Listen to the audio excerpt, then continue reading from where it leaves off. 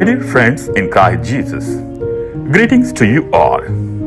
There is an interesting question. Is there similarity between penal law of the Catholic Church and the penal law of the secular systems? To this question, we can answer there are similarities as well as differences between the penal law of the Catholic Church and the penal law of the secular systems.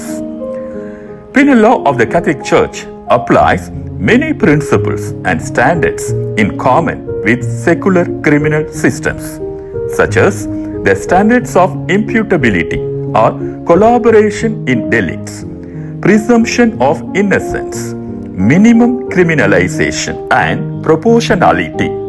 My dear friends, however, the particular offences and penalties are in general different from those imposed by the secular system, since the purpose of the Catholic Church is mainly spiritual and not political.